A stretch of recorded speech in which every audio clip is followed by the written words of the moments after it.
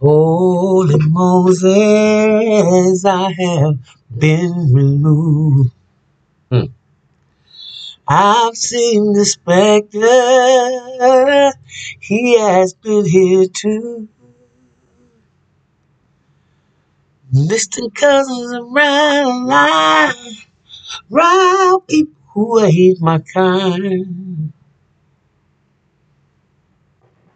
Holy Moses, I have been removed.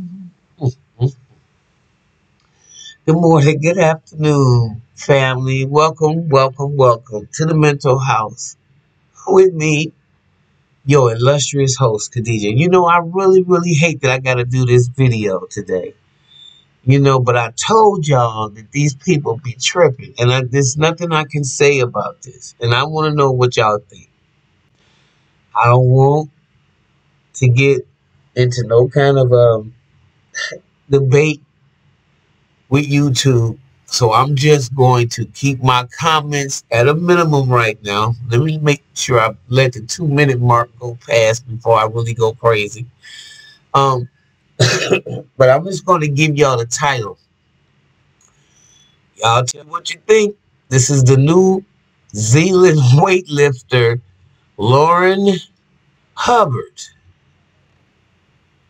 Now, she from New, she from New Zealand, okay? And she done went to New Zealand and crashes out of Olympics after making history as the first trans woman to compete in a solo event. Now, I have no idea, um, you know, why she crashed out, but this is um, a very interesting story. Okay, um, more ways than one. This is totally unfair, first of all, in my opinion. Hubbard, who transitioned in 2012, was competing in the 87 kg category, right? And they says as long as they keep testosterone level the same as a natural born woman, then it's all good. This is the logic. Oh, come on. From um you know, the, the people, I guess, to make the rules. I just feel sorry for anybody got to compete with. It's just insane. Hubbard, who transitioned, I'm sorry, in 2012, was competing in the 87 kg plus category, but failed on all three attempts. Wow. She overbalanced opening weight of 120 kg on Monday night, taking the bar behind her shoulders.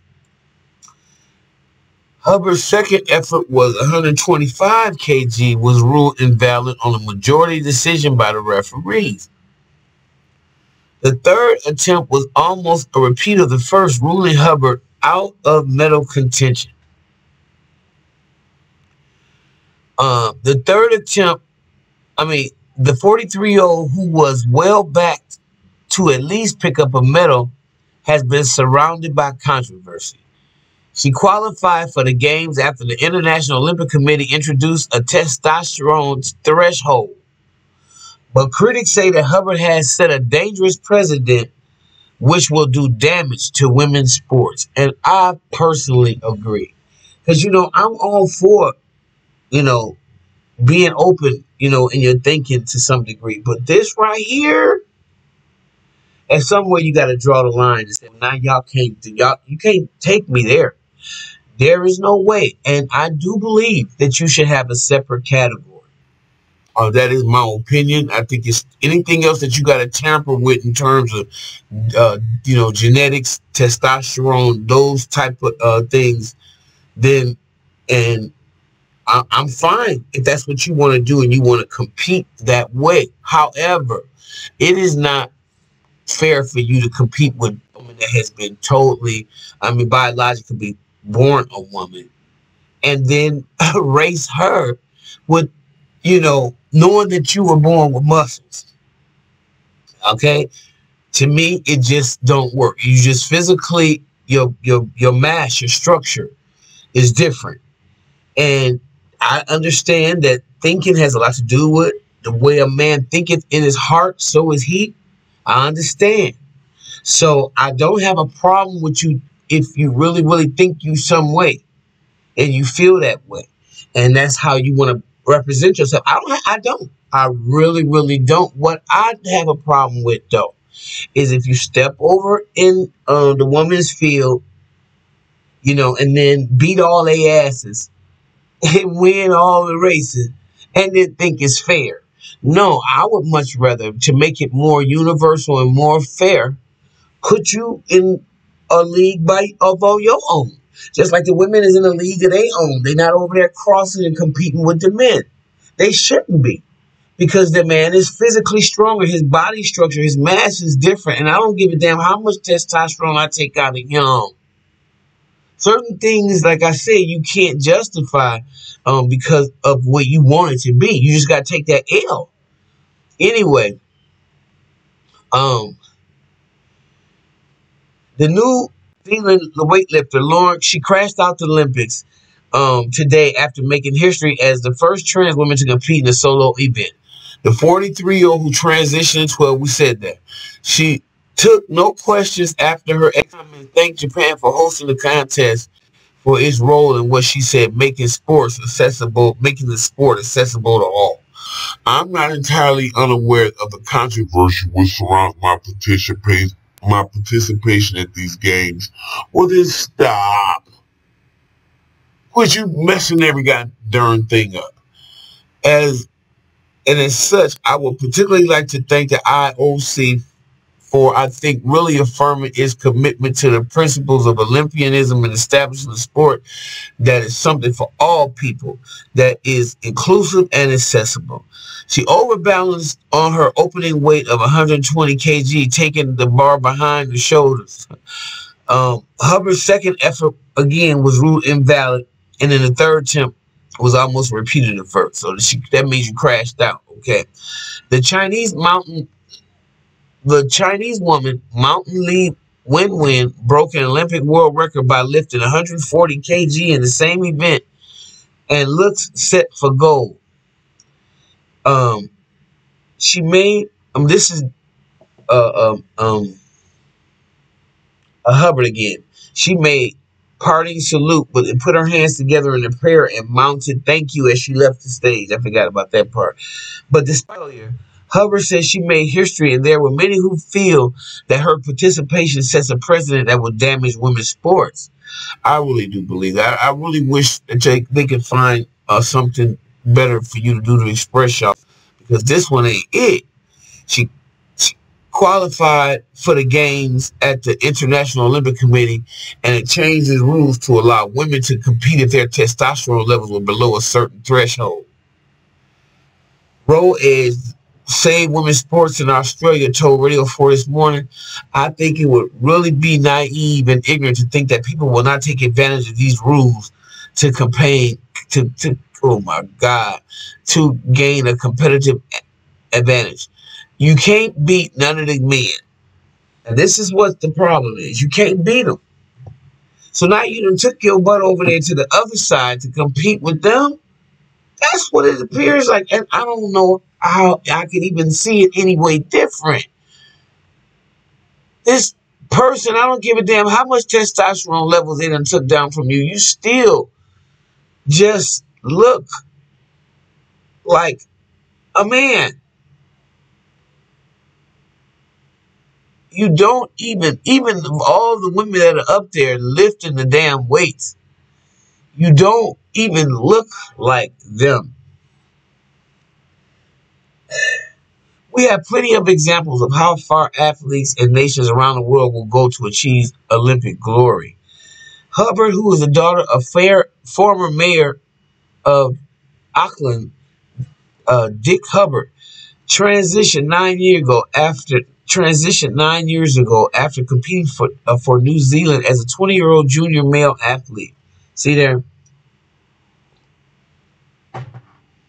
She first qualified for female weightlifting competitions in 2017 before securing her spot last year for the delayed 2020 Tokyo Games. Hubbard is not the first transgender athlete to feature in Tokyo. Football star Quinn is a key player for Canada's uh, Canada's women's team. Although Hubbard has not spoken directly to the media since qualifying, she released a statement through the IOC, which was read out in a press conference last week. I see the Olympic Games as a global celebration of our hopes, ideas, and values, and I would like to thank the IOC for its commitment to making the sport inclusive and accessible. The IOC cleared the way for transgender athletes to compete in the uh, Olympic women events without gender reassignment surgery uh, in 2015, issuing guidelines that require the testosterone levels to be below 10 nano, oh my God, nanomoles per liter for at least 12 months before their first com competition. There is now an ongoing IOC led review of all the scientific data to determine a new framework that would allow international federation um, to take decisions for their sport individually, according to the IOC. IOC medical Richard Budgett said last week that it would be up to the each federation to decide on the rules. While after 100 years of promoting women's sport, it's up to each of the international federations to ensure that they try to protect women's sports. Science will help, experience will help, and time will help. It's very interesting, y'all. Um, you know, because it, it, it is very important, I think, as evolving human beings, supposedly. You, you know, the the the catalyst, the focus of life is to keep branching out. You keep evolving.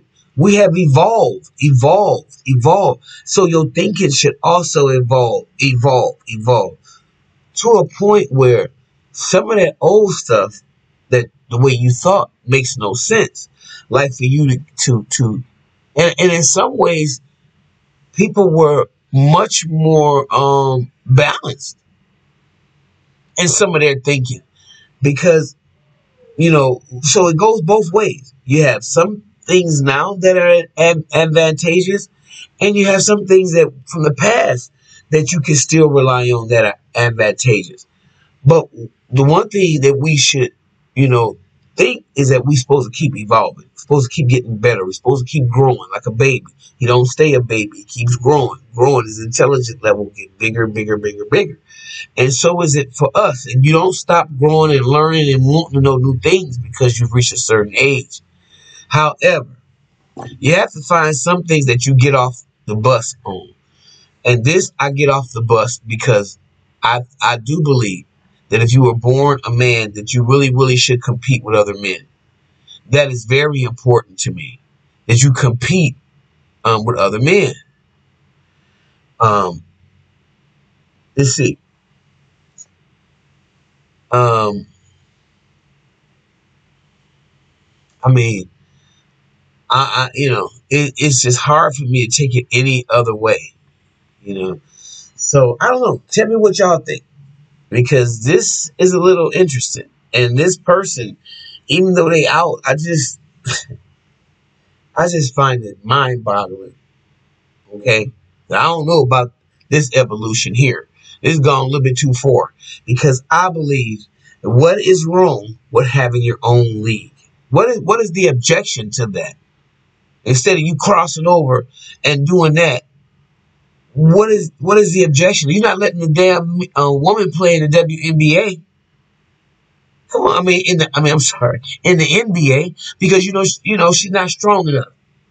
So you created because uh, uh, there's some women ballers out there. So you create your own league. Now, what's wrong when it comes to this? That y'all got to do this type of stuff. Okay. Y'all let me know, family. Am I tripping? Oh, why am I straight? Is this too crazy? Could you like the video, share the video, subscribe to the channel, um, and let me know what you think. No, because I, I can't. I just